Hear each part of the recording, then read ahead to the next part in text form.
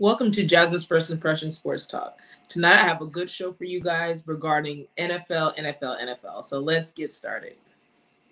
Welcome to Jasmine Pollock's First Impression Sports Talk, the fastest growing sports talk show in the country. And now, here's your host, Jasmine Pollock.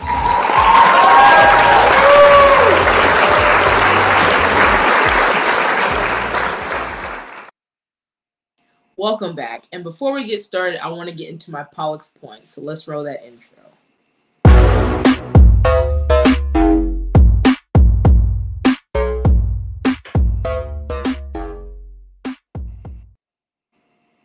To start off, my two Pollock's points are obviously the Dallas Cowboys and the Buffalo Bills. So let's start with those Cowboys for the first point of the night. The Dallas Cowboys lost to the 49ers yesterday in a wild card game. That wild card game to me was very wild, obviously, and it was very sloppy. I think both teams were very sloppy, but I was very thrilled to see the Dallas Cowboys lose since that is my least favorite team. There was so much hype about them going to the Super Bowl, having a Super Bowl winning team this year, and I just knew it wasn't going to happen. And the 49ers really ruined the fans' chances. There was fans crying, there was fans throwing trash everywhere. It was just really bad for the Cowboys. So Cowboys are going home. 49ers will head to Lambeau to face my Green Bay Packers, which should be a very, very cool game. And I'm really excited for it. The next point I want to make is the Bills beating the Patriots. And I mean, they destroyed the Patriots. I was really shocked. I thought it was going to be a better game than I thought it thought it was going to be. Um, I thought Belichick was going to at least have his team prepared for that, but the Buffalo Bills were just they just handed it to them. And the Buffalo Bills, to me, there can be a very, very, very scary team if Josh Allen continues to play how they play and he continues to deliver running the ball and throwing because we know he has a strong arm but that was an, a sensational game for him. And he only missed four passes and threw for five touchdowns. That is ridiculous. So let's bring in Jeremiah. And Jeremiah, let's start with the Dallas Cowboys.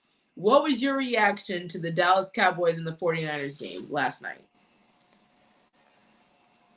To me, I think it was um, a tale of just two terrible teams at the end of that game. Well, to be honest with you, many people were surprised of how the 49ers did. The 49ers, they came out, you know, and just punched the Cowboys right in the jaw. You know, you'll think of Cowboys, you know, this this season they had, you know, one of the easiest schedule, but at the same time they dominated. They they blew out a lot of different teams, the Eagles and a lot of people in their division. So coming into this game, you know, a lot of is on their state to get to the NFC championship or even Super Bowl because it was either gonna be Super Bowl or bust. And out of out of like, you know, the gate, the 49ers, their running game, especially with, with Deebo, like coming out, the I'm telling you, the Cowboys couldn't do nothing um, with that. But of course, when it comes to the Cowboys, when it comes to the San Francisco, when you have uh, Jimmy G, you're gonna always have, you know, a close and frustrating game, and that's what it came down to. When it came to the end, I felt like the 49ers could put this game away, but with penalties and plus turnovers, you know, it, it was the downfall to them. But for the Cowboys, I put so much, you know, laughter on them, but at the same time, they did this to themselves. With so many penalized um, plays that they had, especially in that first and second half alone, and not to mention, you know, just the dis- disbobulating of just everything of their offense. They they couldn't even get in the red zone many of times until late in the fourth quarter. So when it came to that game, I, I felt it was very sloppy, but the 49ers proved to be a better team yesterday. Yeah, for me, like my biggest takeaway from that game was like you said, the, Dallas Cowboys were the most penalized team in the NFL this season, and they had, I believe, 14 yesterday, and it was it was ridiculous. Both teams to me were very sloppy. Both teams were not crisp. Both teams were fighting for their playoff lives. Both of them were, but I felt like Dallas made more mistakes than um, the 49ers, and I think that's what you know kind of dictated the game.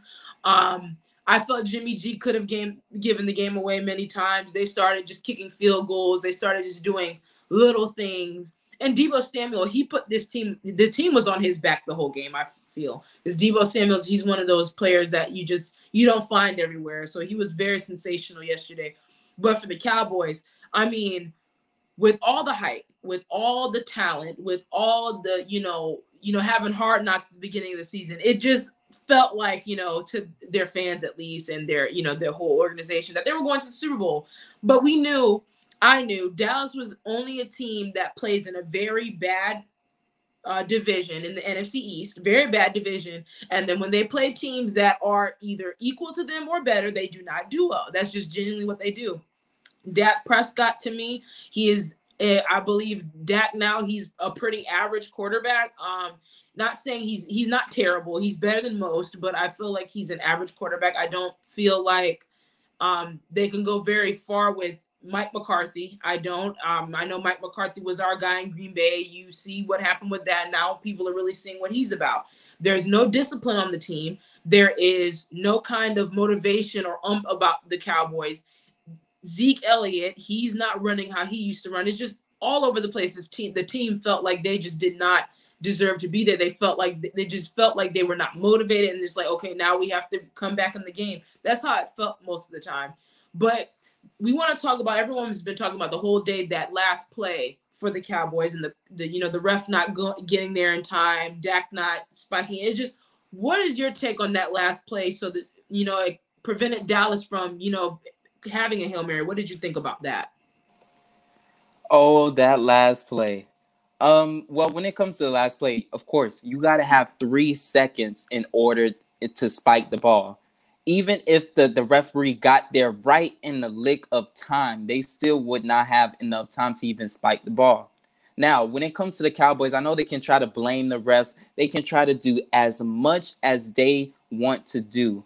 But at at the end of the day, it is on the Cowboys for this loss. Because when it comes to the referee, as Dak knows and as his center knows, you always got to look to the umpire to give him the ball so he can have the placement for you to continue doing the play.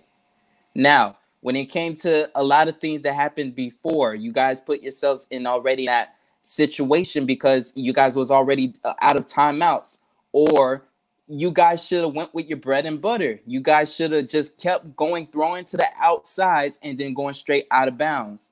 It wasn't on the 49ers and it wasn't on the refs for you guys to be trying to get to the 25. I understand their their their logic of do you want to take you know a, a hail mary from the 45 or you want to take it from I mean the 35 or the 25.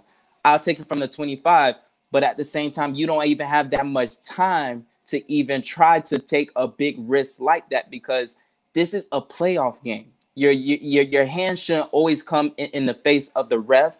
You know, it, it's about you know putting those, those efforts forward at the beginning and even from before that to even get in that situation in the first place, in my opinion.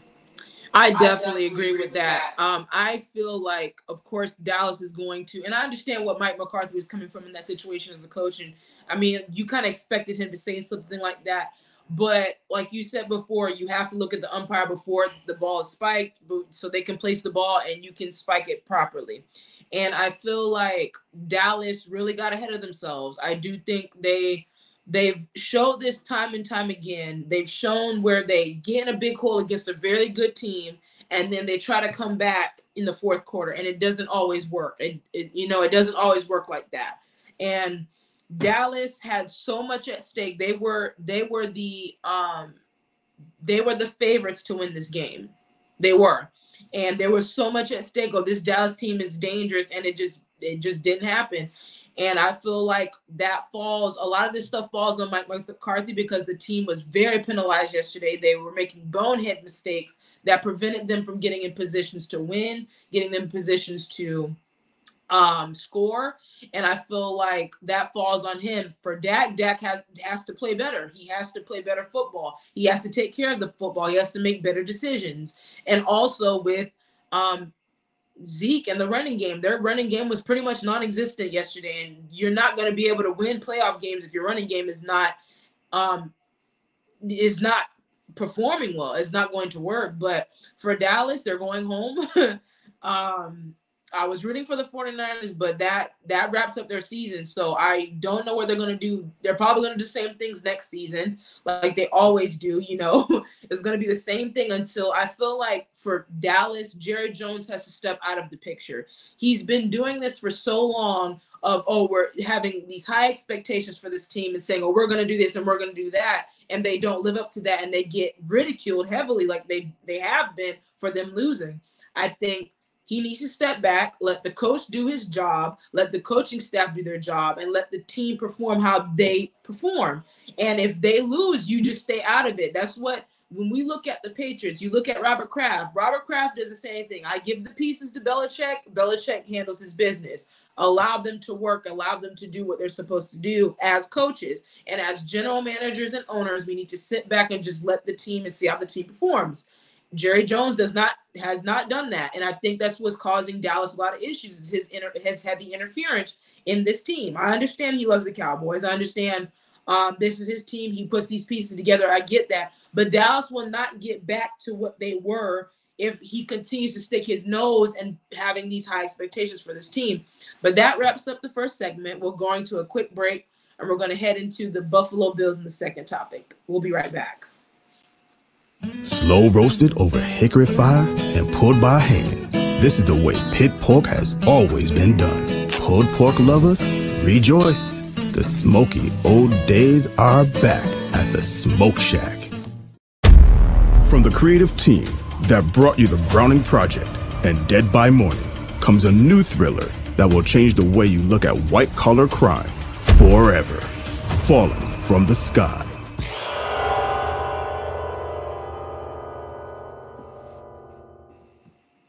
You're watching Jasmine Pollock's First Impressions Sports Talk. Be sure to join Jasmine every week for great conversation on the NBA, NFL, and a wide variety of sports topics. To see past episodes of First Impressions Sports Talk, go to YouTube and search First Impressions Sports Talk. You can connect with Jasmine on LinkedIn by searching Jasmine Pollock. And now, back to more First Impressions Sports Talk. Welcome back to Jasmine's First Impressions Sports Talk. And to wrap up the night, we're going to talk about the Buffalo Bills. The Buffalo Bills this past weekend destroyed the Patriots, and I mean destroyed them. And it was shocking to me that that happened in that fashion, especially against Belichick in the playoffs. So, Jeremiah, what was your take about the Buffalo Bills destroying the Patriots the way they did?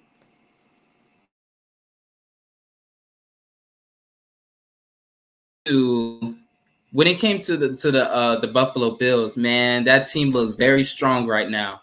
Josh Allen, he was in a, such a beast mode, like so focused, especially from start to finish.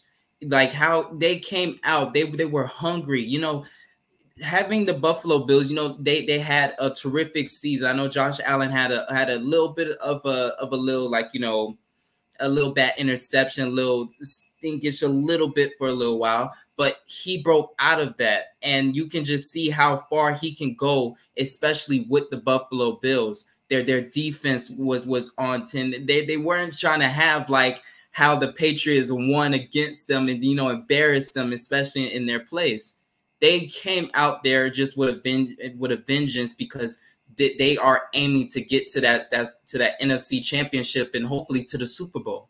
You know, and and I feel like when it comes to to the Patriots and everything else that's that's like their team, um, you know, they they made it to the playoffs, but at the same time, you know, they wasn't all the way ready. They they have a great team within uh with, within Jones and a plus with Belichick and their other, you know, other receivers and their other additional pieces. But you know they're still in in, in a re- rebuilding you know situation. You know i don't really know like both teams because you know they're they're part of my uh, division with the dolphins and everything that's like that. But i'm never going to to disagree when it comes to how good the, the, the buffalo bills look and they to be honest with you next week they could even give the the, the chiefs a run for their money and could even win that game because the chiefs are very beatable in my book just as Jasmine said before, you know, the Buffalo Bills, they are a very strong team, and I feel like they can go the distance. I agree. And for me, um, this is one stat I want to read to everyone. Josh Allen's stats in that game 308 yards, 21 of 25 and five touchdowns. He only had four missed passes in that game. That is insane. For in, a playoff game against Bill Belichick's defense, you put up those numbers. Like that is very that's very impressive. It's very impressive. And I felt like even them talking when the um the Patriots ran all over them in the beginning of the season, I feel like that left a very, very bad taste in their mouth. And even when they played in Foxborough a couple weeks, they destroyed them. And then guess what? Now in the playoffs, they destroyed them. And I was really, really impressed with the Bills. And I think the Bills can be a, a very dangerous team if Josh Allen continues to play how he is playing. They're a very dangerous team. They have a good enough defense to get after the quarterback and create turnovers. They have a good enough, of course, they have a great offense that can run the ball, that has good that has a good receiving corps and a quarterback that can get the ball to you. So it's really exciting to see this team. And when they play the Chiefs next week, that's going to be a great game. Like I really, I'm I'm really excited for that game. That's going to be one of the exciting games of the um, playoffs. And when you look at that, this is a rematch of the AFC Championship last year. So we're going to see if that this Bills team can get over that hump against the Chiefs and beat them. And to me, when looking at the Chiefs this whole season, even though the Chiefs um, beat up the Steelers yesterday, there's still some questions I have about the Chiefs. There's still some things that are a little uneasy. I still think their defense is a little questionable. I still think I feel like Mahomes is becoming a turnover machine, even though he's still putting up great numbers. He's still throwing a, a, a large amount of touchdowns. So it's going to be very interesting to see. So, Jeremiah, for the Bills, do you think the Bills could head to the Super Bowl? Do you think that they are a Super Bowl winning team? A Super Bowl winning team. Um, I would say this is their year to go to the Super Bowl. If this not the year, I don't know what year it is because you know coming in last year, you know they're they're different. No, no, I'm not mean. Coming in last year as they did when it comes when it came to their season, they were very, you know, new to, to this game when it came to um, you know, they just got Josh Allen in there. This is his first playoffs and everything else. They have Diggs and everything, and you know, they get so far within that AFC championship, but then they came a little bit short. And I know it in back of their minds, they said we can get to this next level that we're trying to go to. And I totally agree that they can actually make it to the Super Bowl. Going against maybe either the Titans or the Bengals, I feel like they can have a clear shot at being the, the, the top contenders to actually be there in the Super Bowl with, with so much dynamics that they have and just the, the experience now that they have in the back of their shoulder. We're not gonna forget when it came to how you just mentioned it before, how they had that game against the Chiefs in that AFC Championship. Diggs, I, I mean, yeah, Diggs stayed behind to just watch that, uh, the Chiefs celebrate. That that lives on in their heart, and then they want to have that fire to to get them to to the, where they need to go. And I think that's Super Bowl for them. I will agree too with that. And I feel like um when it comes to the and being that you mentioned with Diggs, I remember that video. I remember that video vividly of him standing there watching that and just feeling that. And they, it was a good game. They didn't get blown out or anything. It was just a hard fought battle, and the Chiefs outplayed them and outmanned them in that game. And I feel like now the Bills are catching, they're catching steam at the right time. They're getting hot at the right time. It's you know they they they're coming in you know, playing very, very good football. And with the Chiefs, you know, it's gonna be it's gonna be a huge test for the Chiefs because now the Bills, I believe the Bills are gonna be hungry. I believe the Bills are gonna be like, listen, you guys beat us. You guys are the talk of the, you know, they still put the Chiefs up there because they're the Chiefs. You have Patrick Mahomes, so they're gonna all they're gonna be the, you know, have the upper hand in this game. But the Bills are gonna go in there and they're gonna play their game. If the, the Bills play their game, they could very much beat the Chiefs. I believe in that 100. percent They just have to play their game go in there, run the ball how they've been running it. Um, Josh Allen plays how he's been playing the past three weeks. It's going to be a very, very serious game for the Chiefs. And I feel like if, and then defensively, I think the Bills have a good enough defense to cause issues for Mahomes because we've seen him, like we said before, turn the ball over a lot this season and do a lot of bonehead mistakes this season. I don't, I think that they're a little suspect this year. This they're still the same Chiefs team that can score points, like we saw it last night. But it's going to be very different when you're playing a Bills team that can score as just as many points as you can. But for the Bills, I think looking at the AFC, you look at the Titans, you look at the Bengals, and you look at the Chiefs. Now you look at the Bills. Josh Allen is a difference maker. I do believe that 100%, as in, as so is uh, Mahomes. But if they continue to play like that, and I've seen all these teams the Bills could very much so go to the Super Bowl, very much so. And I, you know, I will stand on that. but um, they have Josh Allen has to play his game. It all goes to the team goes as far as Josh Allen goes. If he plays like that, this team is going to be very dangerous. It's going to be very hard to beat this team. But that wraps up tonight's show. Thank you, Jeremiah, for always joining and giving your insight on these sports topics. Next week, we have a good one, which is going to preview the AFC and NFC championship games after these this weekend's divisional round. So I'm very excited about that. We will see you guys here on Jazz's First Impression Sports Talk on Mondays at 8:45. See you next week. Good night.